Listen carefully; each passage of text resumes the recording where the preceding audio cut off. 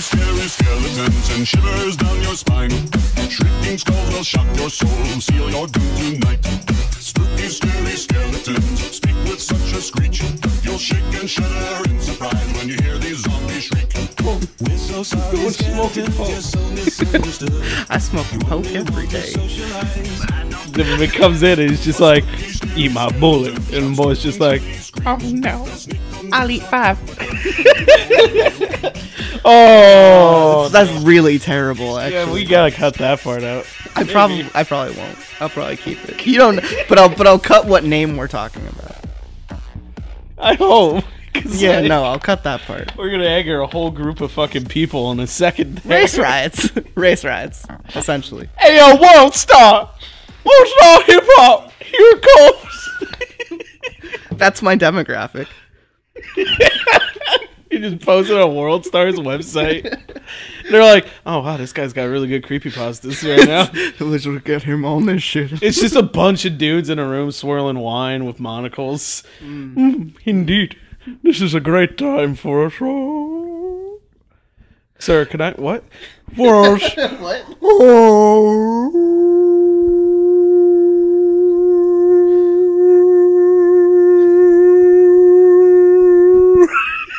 I did something similar to Franz McBoohoo last night, and he got really fucking mad. what the fuck did he do?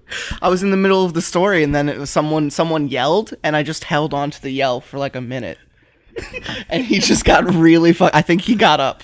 I think he like got a- he got up and left the couch. He said something along the lines of "I'm going to take a piss," and then like stalked toward and then stalked towards my fucking bathroom.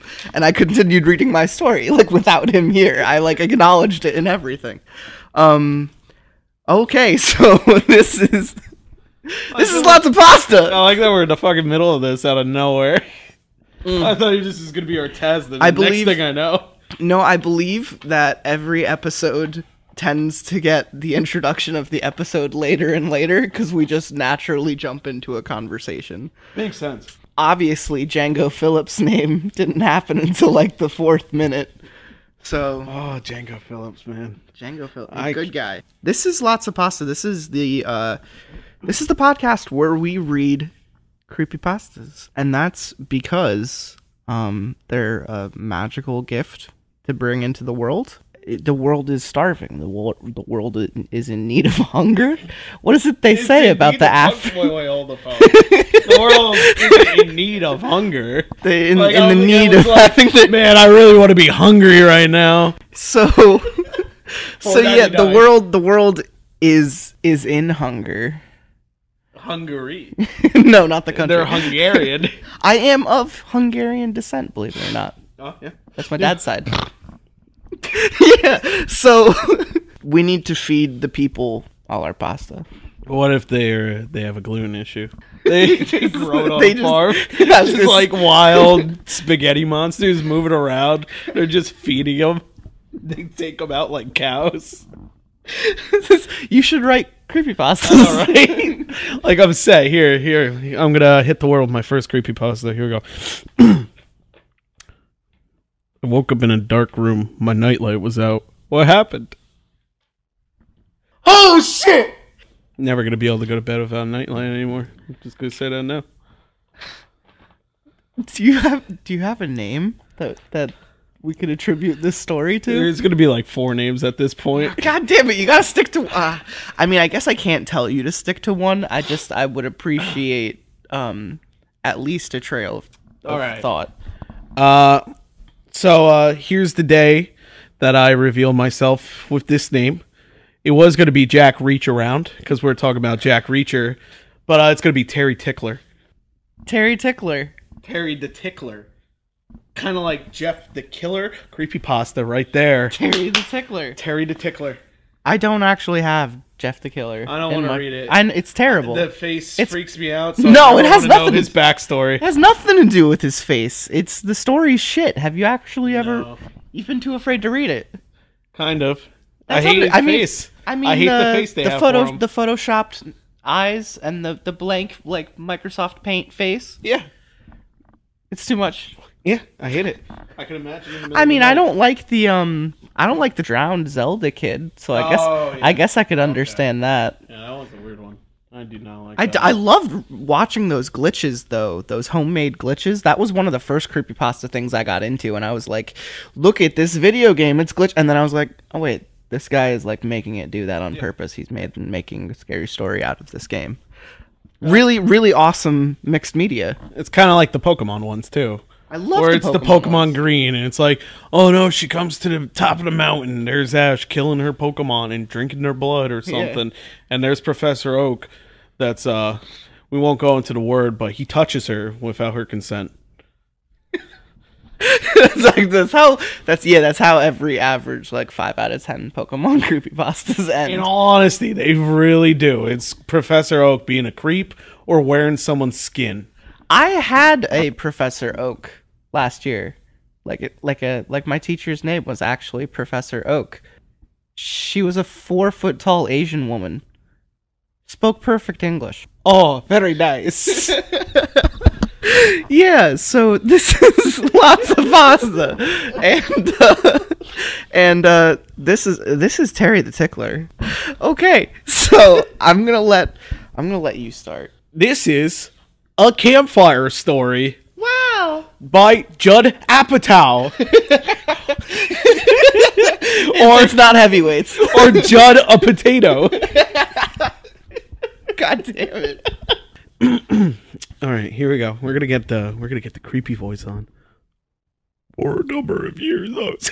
I was gonna say I don't think that that was gonna pick up very well. Uh, no, here, can you give me the mic. I'm gonna get this one. In your mouth. I don't like that. For a number of years, I was a camp counselor at an overdose. Does he have a disease? Okay, I got the voice. For a number of years, I was camp counselor at the overnight camp in Muskokas. I love it more than any job I've ever had. Despite the non-existent pay, annoying campers, long day and short nights, crappy food, etc. For one, I got to tell as many scary stories as I could sputter out. There was nothing better than hanging around a dying campfire with a bunch of junior high kids who were demanding the scariest, most blood-curdling tale I knew. He does not know love. this is this is the most enjoyable thing in his life. Yeah, seriously, this poor guy. Like, go home, watch a TV show. Sitting in forest with little kids. This one time I was in forest, I was very happy. Let me tell you. My family, for Christmas, they get me forest pajamas. You know how happy I was? I was happy. So happy that I had happy feet. I love that movie. And that's how all of these horror stories at this campfire go. Yeah, it's like, oh, little boy in a room, dead, dead on the floor. He hold knife that killed dad, and he's just like, let's go watch Happy Feet. So it's it's it's your version of a skeleton popped out. yeah, sure, why not? Because it's happy. And then we watched Happy Feet. All right. And I told them all the babysitter in the eerie clown statue. The, Hey, I know both. Yeah, I know that one. The driver and the creepy guest attendant. Uh, I actually do think I know that one. the woman and her licking dog. Isn't that the one you read? Licky, licky, licky, licky. Or as Franz McBoohoo would say, ricking. I saved my best stories for overnight trips we made in Algonquin Park for non-Canadians. Canadian! the first word made me think it was gonna be like some Russian dude. Don't worry, I got Gaga counter. so this entire time it's been like, I like hanging out in the forest with kids, eh? All right, I hope no moose get us, eh? time to change up voice. you you want to drink some of my drink? It's uh, syrup. It's a massive park in the middle of Ontario, spanning nearly 8,000 square kilometers. Gosh. That's When- where Walt Disney got. That's he was like those fucking Canadians. I'm gonna name them Goofy. When days will be spent canoeing on pristine lakes and nights will be spent around the fire, singing and making s'mores and being as rowdy as the only people within miles could be. Once the kids had quieted down, I'll tell them the story of a stalker in the woods with a face so horrifying it paralyzed all of its victims in fear.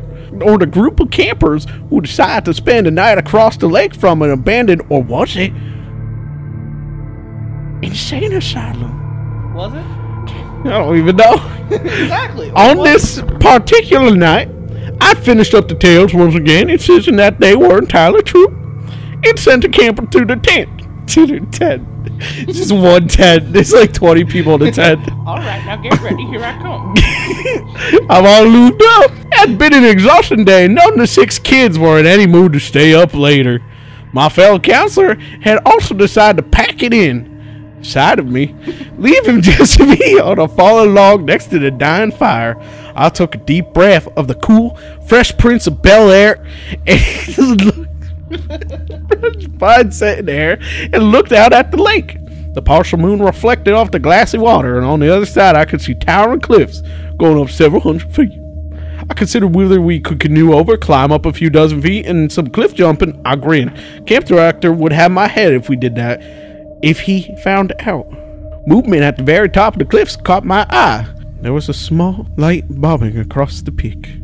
At first, I thought it was a star, but it was larger and gave off a golden glow. It slowly moved back and forth in a small arc.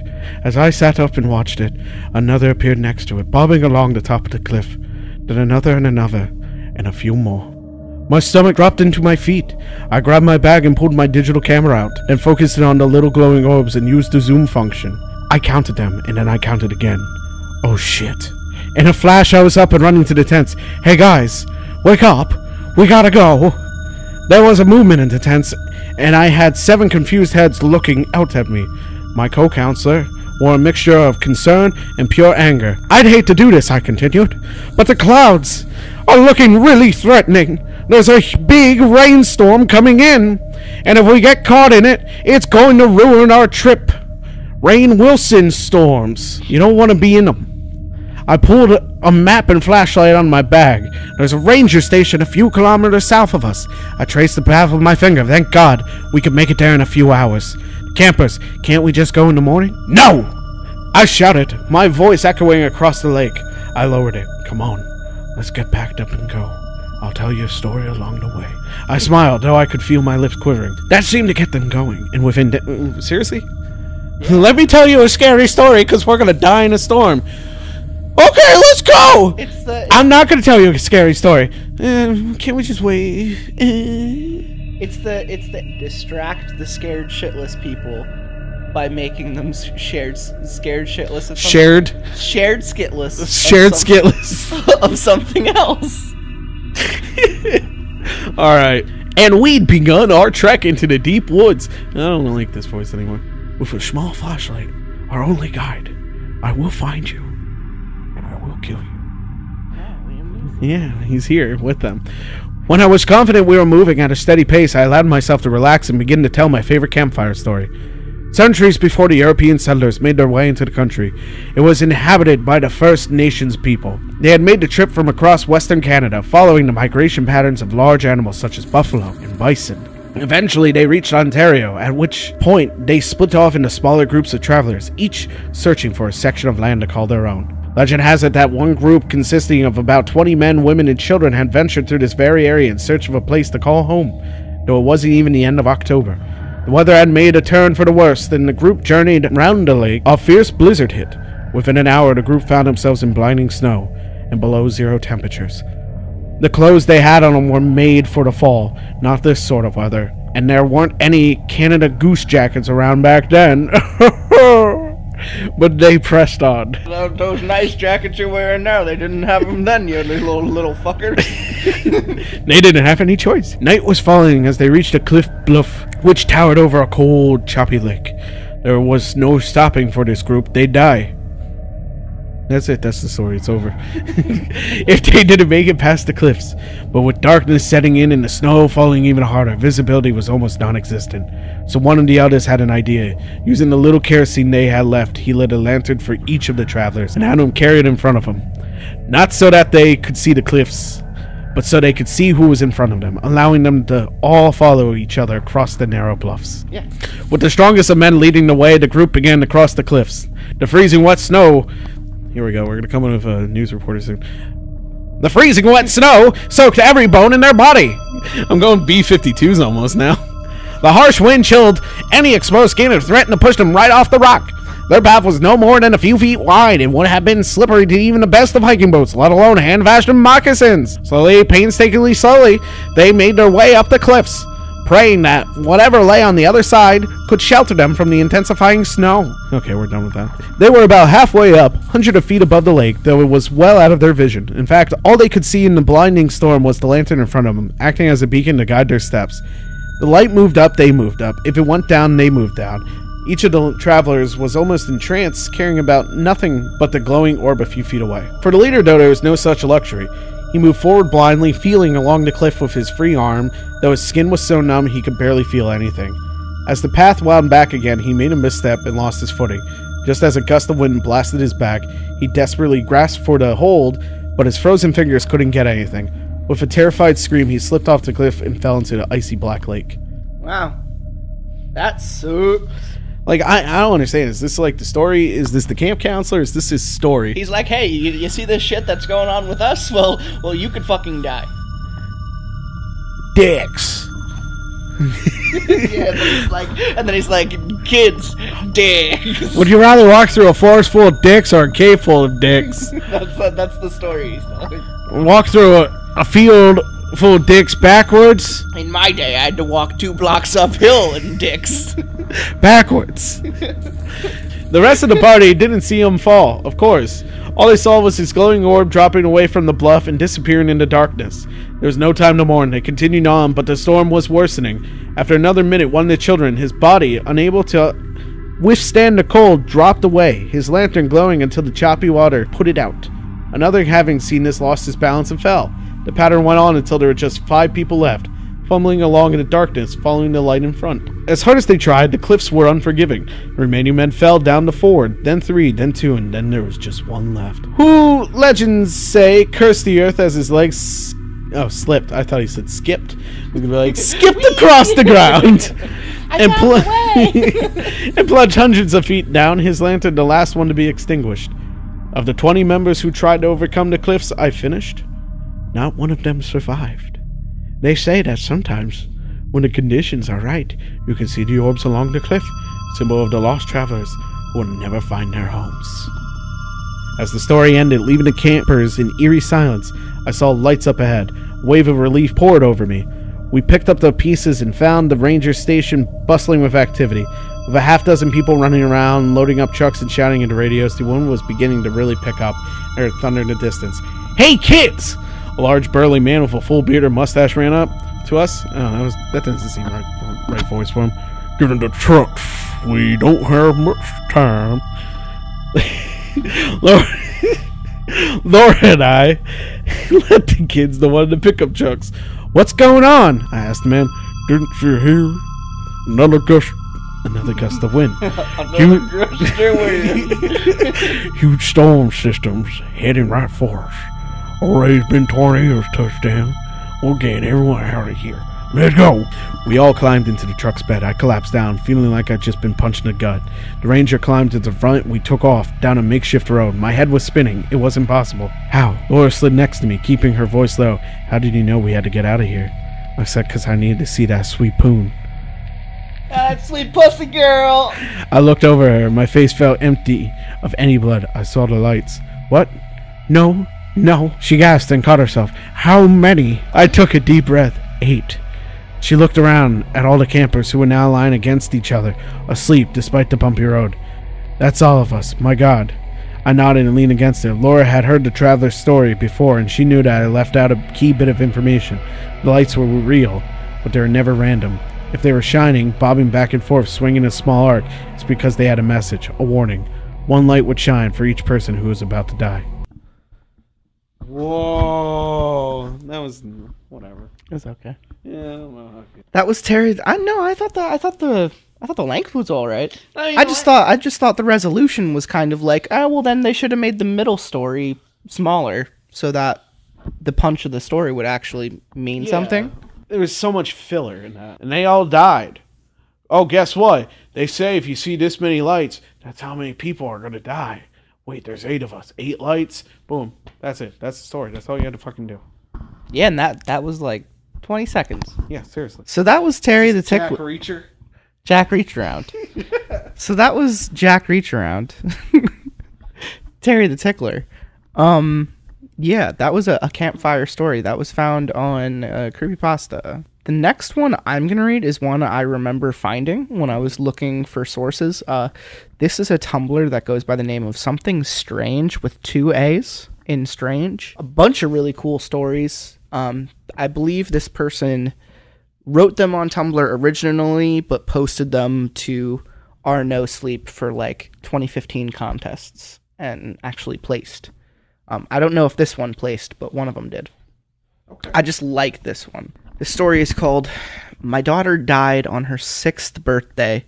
A man just handed me photos of her seventh. I cannot describe to you how I feel right now. What I'm experiencing is so detached from the normal, I'm almost convinced I've finally gone insane. Almost. My wife, B, died during childbirth. She was gorgeous, funny, intelligent, but stubborn. A woman whose laugh was so loud eating in restaurants was a challenge, and whose stare was so intense it made my hands shake. I lost her as she gave birth to our daughter, Sam.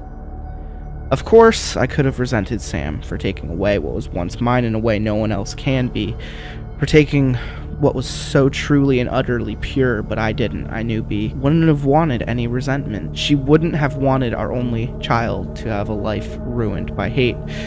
This isn't about grief. This isn't about the physical sucker punch of losing forever something you loved. This is about something far more sinister. My daughter was lively, always running and screaming, leaping up and down the climbing frame, causing havoc in her nursery classes. So, for her sixth birthday, a trip with friends to the movies had left her so pent up with energy I could barely keep up with her as she dipped and dodged between people on the pavement. She'd occasionally turn back, though, through the sea of people and shout, Daddy, come on! in a tone that was almost petulant. I couldn't help but love her. Daddy! Come on! Daddy, come on! Come out! I tried to chase her, I really did. She was too busy looking at me when she dashed out into the road, and the bus didn't have time to stop. A sickening crunch, and the world fell silent. I cradled her broken form in my arms, too numb to weep, too hurt to move. All I could feel was the warm blood gently seep into my clothes. In the state of shock I was in, I could just think about how I was going to wash my jeans. It sounds horrid, I know, but a loss like that tears everything away from you and leaves you with only the bare thought process that makes us human. I love how like that the fact that she died was within the first page of this five-page story. Like Instead of just like you know, instead of telling a story four halfway, pages, halfway into the story. and then be like, oh, here's the story, the scary part of it. Yeah. And you're like, oh, okay, cool. Fucking Canadians, man. This dude over here is like, I fucking Hollister ass jeans, fucking ruined by this little bitch's blood. Fuck, dude.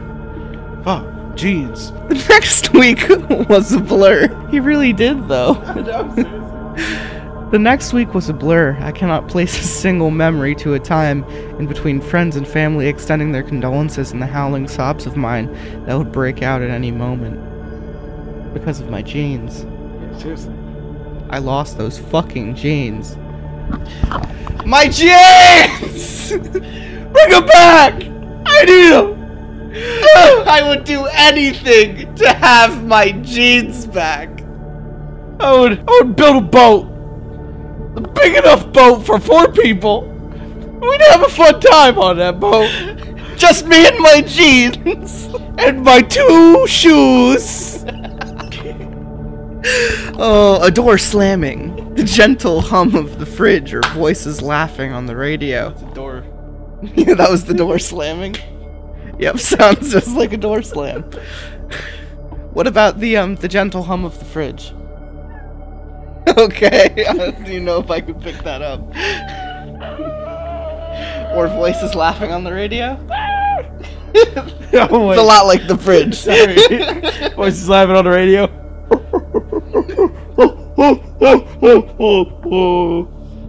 yeah, that's exactly what the, the voices on the radio. It's a fucking Halloween. Oh my god. Oh, I attended her funeral dressed all in black, mainly because I didn't have my blue jeans. By dressed, I don't mean merely clothes. I mean my blue jeans. God damn it. merely close. Wait. I don't mean merely clothes. My very essence was dark. Yeah, like that's what all the goths say. I couldn't feel or think. and the day could Crow is the best movie ever. That's more like it. now we're offending the right population. and the day continued as I went through the motions like a dying man treading water. Everyone wanted to tell me about Sam and how perfect she was, what an angel she was, as if I didn't know, as if I didn't realize what a gift my own daughter was. The man stood out from the rest as he walked up to me and handed me this large leather book. I assumed at the time he was a parent of one of Sam's friends, handing me a collection of their photos together, or maybe I was too numb to even process his cold hands and how he never mentioned my daughter once. For a month I was lost. I drank and stayed in our now empty apartment alone, watching old box sets, too numb now to even cry. Not even Sex in the City can get me out of it now. Nor Seinfeld. Oh man. But friends, friends I will. I, I am too numb to even cry. It was only when my sister arrived, when she held my hand and talked to me, and I became. Because only in the end Doesn't even matter. doesn't even matter. When she held my hand and talked to me, that I began to come out of my shell. She'd sit and listen to the most inane things I said and gently coax me out of my depression. Not completely, but enough for me to begin to live what was almost a real life again. That was when I opened the book. I decided to remember Sam for all the joy she gave and was prepared to reflect on her life without feeling miserable. I opened to the first page. It was essentially a binder full of Polaroid photos of my daughter growing up. I furrowed my brow. They were taken from a distance, blurred slightly, and I was in a few of them. I began to feel sick, but I hoped the following photos would provide some explanation. I came up with every excuse of how the man obtained these photos, desperate to view the moments of my daughter's life without a sense of trepidation. The photos grew closer and closer to my daughter's birthday. I could see the day I gave her a tiny bike after she turned five, and the skin knees that ensued. The book had so many more pages that I assumed the rest were empty. But there was a photo of her just before the movies on her sixth birthday. I could recognize the pink raincoat she insisted on wearing, and my hands on her shoulders. There was no photo of the crash. Instead, her life continued inside this book. Her seventh birthday had a photo of me and her in the garden covered in paint, with a huge canvas on the floor and, and an extremely messy painting. Her seventh birthday. Her seventh birthday. The reality of what I was seeing hit me, and then I slammed the book shut. I sat there at the kitchen table, staring at the leather. This must be some sadistic Photoshop. I hoped someone had taken the time to pull a horrid prank on me. I say I hoped because essentially I couldn't believe the other explanation, if there was one. Gritting my teeth, I decided I had nothing to lose and kept reading. I can't explain the emotions I felt whilst I read accurately, listening to the sound of the page turning. Turning. I can try, but nothing could prepare you for something like this. Her life continued showing her losing her baby teeth, her first day of senior school. My turning of the pages became more frenzied, and I began to notice something. The photographer was getting closer, closer to her.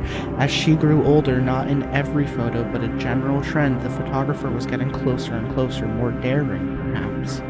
She was beautiful, stunning. As a teenager, she looked just like her mother, all curls and smiles. I grew older too, but the photos began to include me less and less. Her 16th birthday was strange a group of her friends sitting outside drinking from little plastic cups at a picnic, but there was someone in the background near the bushes of the park where this was taken. A dark figure stood. You wouldn't have noticed him if not for the small shadow he cast on the grass. I leant. I leant back for a moment and exhaled. This was too weird. I've been so caught up in watching my little girl grow up, I hadn't thought about how this would end. Moments like this are, are so utterly surreal that sometimes you remove yourself from them. I almost felt like I was watching myself read these, like this was a dream or a program on television. But I continued. I just kept going. Whatever. The dark figure became more and more present in each photograph. I could almost make out his features. His presence was towering, and as I turned the page, I expected to see him disappear, but instead, as the photographs grew closer to her 18th, each birthday was marked by a caption underneath the Polaroid saying, Another year. She was no longer somewhere I recognized. Instead, the photos were of her in a dimly lit house, her face contorted by fear, striking all sorts of weird poses. Sometimes she would be dressed like an ancient queen, or she would be dressed like a maid scrubbing the floors. The figure was there even closer now. His legs or his arm would appear in each and every one, no matter how she was dressed. In every photo, her face had this desperately pained expression. It killed me. There were bruises on her face. She looked thin, ill even. I couldn't do it. This was sick, properly sick. My girl. I soldiered on. Last photo I looked at before I slammed the book shut and swore to never ever look at it again was of her 18th. The caption underneath read, At last, in sloppy writing. She was looking straight at the camera, crying. She was on her knees, dressed in a black evening dress, with an apple in her mouth and her hands bound behind her back. Her makeup was ruined by her tears. It was as if she was pleading me, begging me to help, but I couldn't. I closed the book and left the room, my whole body convulsing with sobs. I couldn't call the police, of course, she was dead. The thing that keeps me up at night isn't the content of what I saw. It's that there were so many pages left. And you know, that's what tends to happen when you go to so many parties with Paul Reubens. Oh, I see you, Donnie. I'm coming for you, Donnie. he just shows her clean the house. There's the chair flapping its arms around. oh, that's so fucked up. Yeah, that was a good one. No, that was really good. I, I enjoyed that though. This this the uh, the writer is uh, definitely known for their craft. I, I got a bunch of their stories. So um, so how you feeling about uh about Lotsa Pasta? Do you uh, are you a reader of the creepy pastas, Terry the Tickler? Yeah, I uh, I take a fork and a spoon and I twirl it up and I eat my pasta. You'd you'd be surprised to know that, that you know this this is the first I've heard someone respond to the, the title of the show with with that original line of thought. Oh man, pasta's great. little bit of s- Meatballs, right? some spaghetto sauce on there. Spaghetto. I love me that um rotino, rotini, uh, rosti tostinis. Yeah, Yeah, chef. Uh, pizza rolls. Okay, all right. So at one point, uh, our one friend he was getting uh, a next gen system. And he's like, "Oh, what should my name be?" And I'm like, "Yo, I got the best name for you, Chef Boyar. These nuts." I'm done. I'm out. Mic drop. Why wasn't that your name? I, I it's too long. Yeah, you're right. Just like these nuts. Oh. All right, so you're gonna read the next story. oodles and noodles. Creepy pasta. All right, so here we go. We're about to read Robert the Doll. I'm gonna read it in a Mickey Mouse voice for like one sentence. In the late 1800s, Thomas Otto and his family moved into the mansion at the corner of Eaton and Simonton Street in Key West, Florida, now known as the Artist House. The Ottos were known to be stern with their servants, sometimes even mistreating them. It was the treatment of one such Haitian servant that provides a twist in this story. This woman was hired to take care of their son, Robert. One day, Mrs. Otto supposedly witnessed her practicing black magic in the backyard and fired her. Before she left, the woman gave Robert a lifelike doll which stood three feet tall, had buttons for eyes, human hair, ew, believed to be Robert's, and was filled with straw. It's just creepy. Dolls that resembled, ch- mm, resembled children were not unheard of during this time, but this one proved to be special. Robert named the doll after himself and often dressed in his clothes. Robert the doll became his trustworthy companion. He took it with him on shopping trips into town. The doll had a seat at dinner. at dinner dinner table. Where Robert would sneak in bites of food when the parents weren't looking. That's a dirty doll. Robert would even be tucked into bed with the boy at night. Soon, the innocent relation took on a strange nature.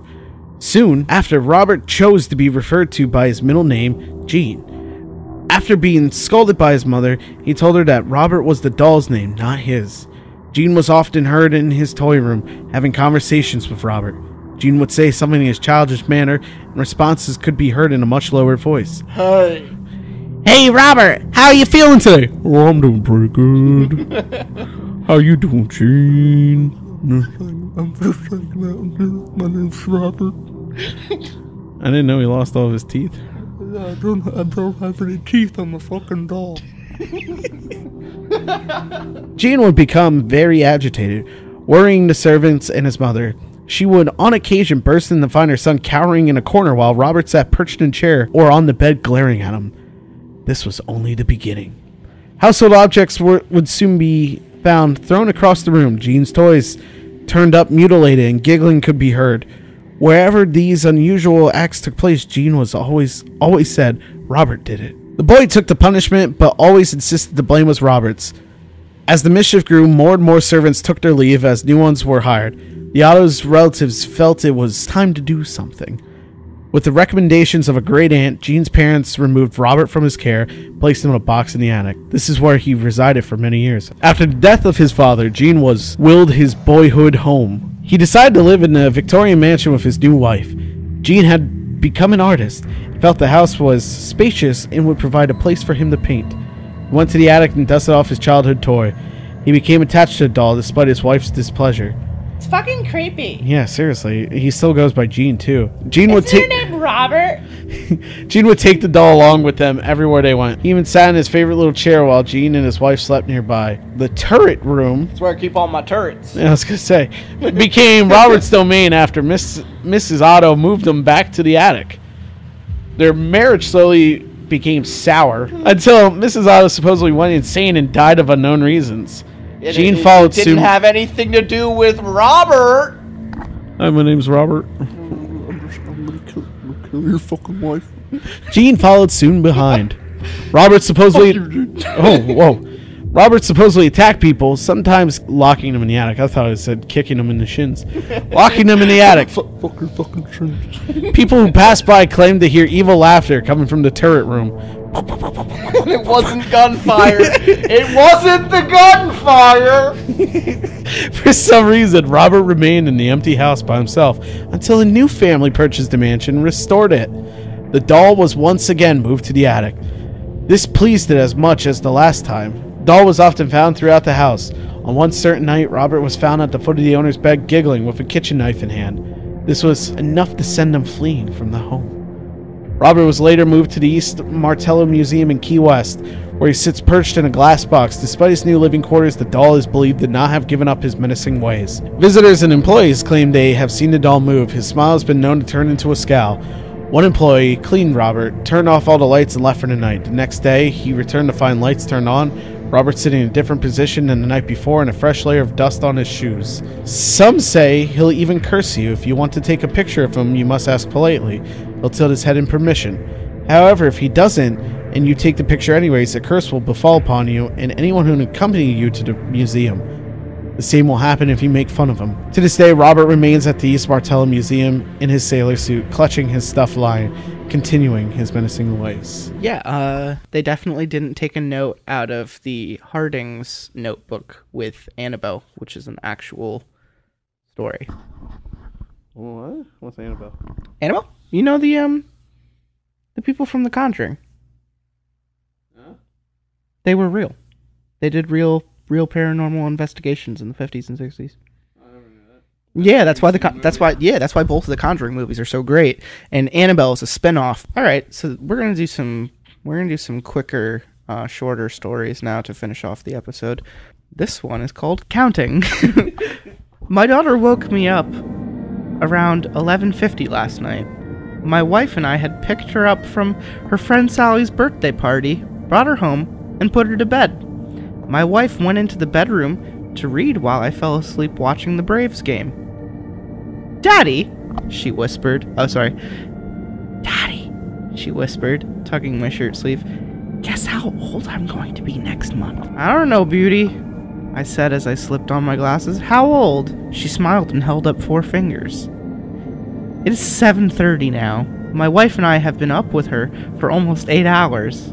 She still refuses to tell us where she got them. Oh. I found four fingies, Daddy. So that was, yeah, that's what it's getting at, right? She just found four fingers. Here, look at me. I'm gonna be this old next month. Four fingies. Guess where I found them? The, uh, the dog. The dog ate them. Are we Adam Sandler now?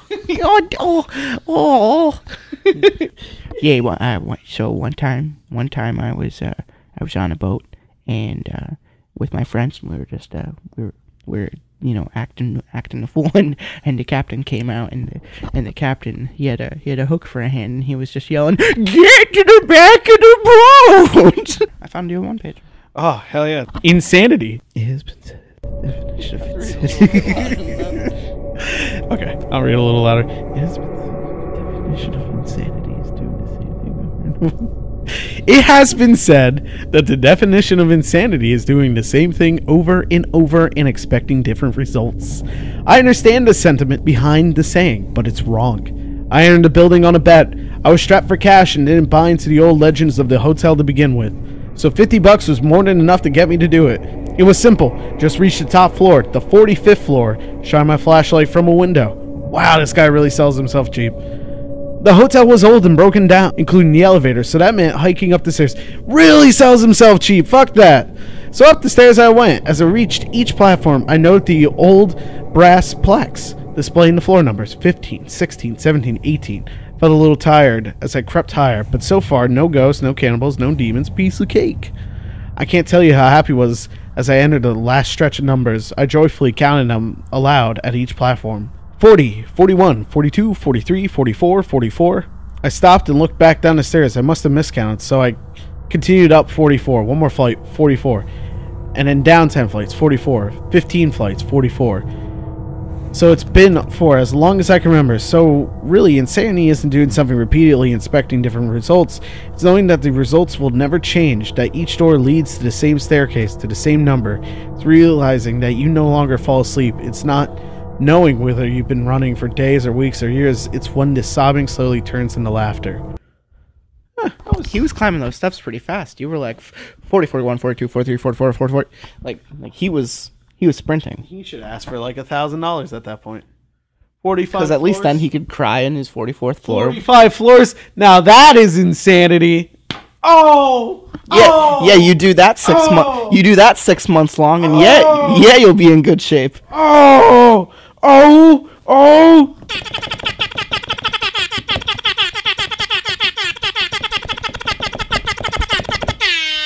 This is World War Cannibal. After World War One, times in Moscow were hard. Everyone seemed to be starving, and food was extremely rare. A young woman is in a crowd and sees an old, blind man hobbling his way through. Woman guides him and begin talking. Old man asks favor of woman to deliver letter. Since the address is next door, she agrees. She walks away, she feels a sense of unease, and turns around. The old man was running away. So terrified woman ran to police.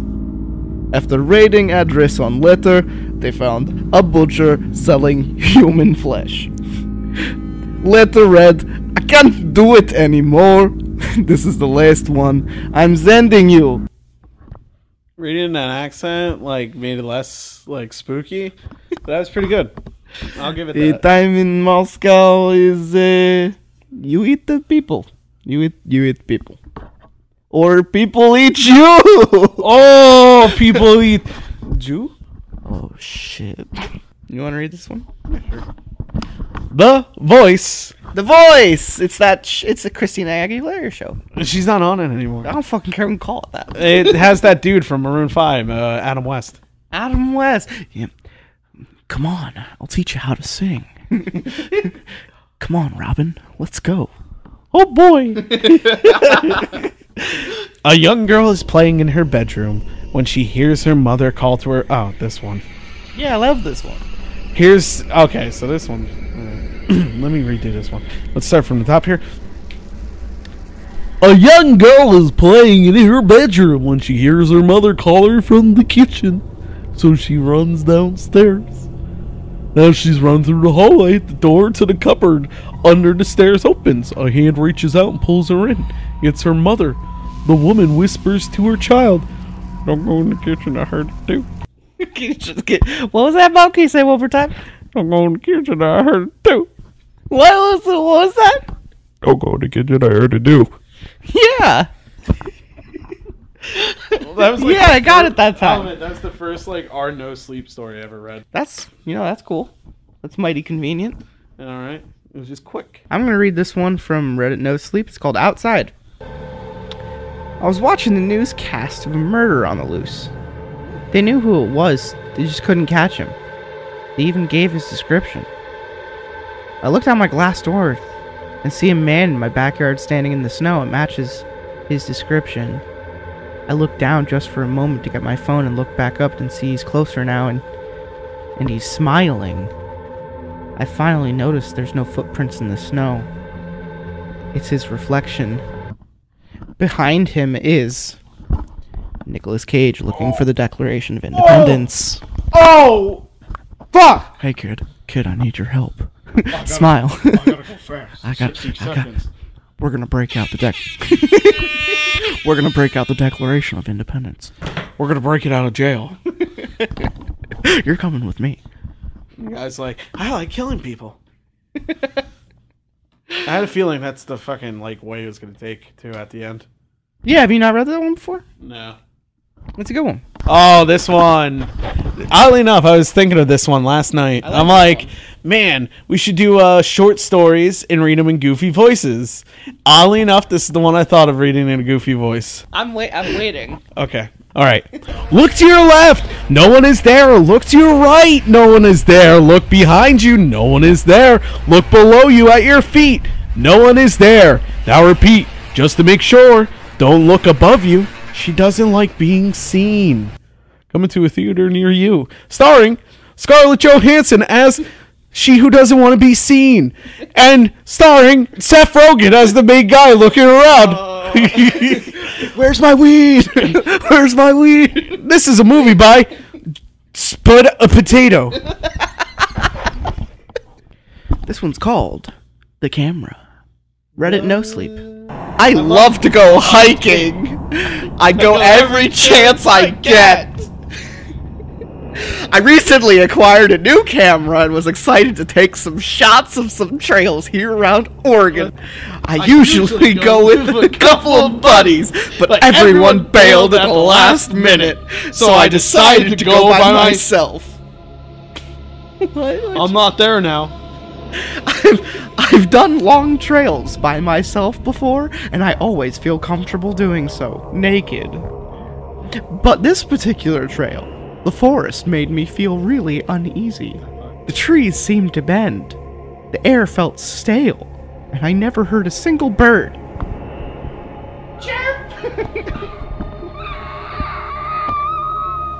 I was so creeped out that I never took a single photo while on the trail. But I love hiking. I love it. I wanted to turn around, but by the time I wanted to do so, the sun was about to set, damn it. So I made camp and decided I would leave first light. I made it home and a week went by. I took some pictures around the house and loaded them up on my computer, and I was clicking through the photos when my heart stopped. Like literally, like I fucking, like I liter, I literally fucking died, man. I was gonna say he's Literally. I stumbled onto a picture. Literally, I stepped on it. It was a picture of me on the hiking trip last week, fast asleep, in my tent, alone in my sleeping bag. Literally. forever alone. oh my god, so this this one this one I saved for another friend, but uh but Terry the Tickler said he he didn't know this one, and this is one of my favorites. Last podcast on the left repeats this like every creepy pasta episode, and it's one of the funniest fucking things I've ever heard. I want to see your attempt at this. All right, here we go. So you're sitting with your honey and you're making out when the phone rings. You answer it in, in the voice is, "What are you doing with my daughter?" You tell your girl, and she say, "My daddy's dead." The who's phone? was phone. This is the mom, you know, right? Like, why did Yeah, we no, immediately establish that it was the dad? My daddy's dead. dad is dead. My daddy's dead. It's like she she comes on thick, you know, like they're just making out, and she's like, "My dad's dead." Like baggage. What are you doing with my daughter? So, uh, my my like my reason for loving this story is like one day I'm gonna write a really intricate like creepy pasta, and it's gonna end with a situation where the protagonist is making out with his honey on a couch, and the phone's gonna ring, and she's gonna hand it. And, and she's gonna say my dad is dead, and it's gonna say the new was phone, but it's gonna be a twenty page long story, and you're gonna work all the way up to this moment, and that's what happens. And I can't, and I can't wait to finish that story. Then who was phone? Then who was phone? We're, I think we're both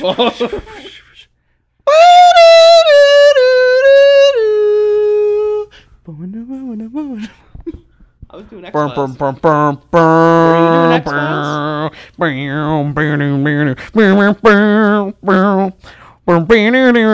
And now I'm doing Law and Order SVU now. Oh, okay.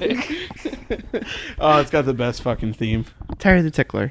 So that's gonna be the end of this. Uh, this Lotsa Pasta. Come on. I'm all. Yep. Unfortunately. unfortunately, unfortunately, we're gonna have to end with with who was phone. I feel like it's a perfect topper to the end of this episode. Last one. How, d- how did you feel about this Lotsa Pasta expedition? Appropriate. It was fun. Real fun. I had a fun time. It was pretty fun being here. Doing some to reading some stories and stuff. You had a fun time? I had a fun time. Did you? Did you really have a fun time? Just gonna gonna done. Here, I'm gonna end it on the scary story of all. One day, open up the fridge, no milk. Two the one, from the one to the three. I like pussy and I like trees. Smoke so much weed you wouldn't believe. And I get more ass than a. Three the one, from the one to the three. I met a bad bitch last night the D. Let me tell you how I leave with me. Conversation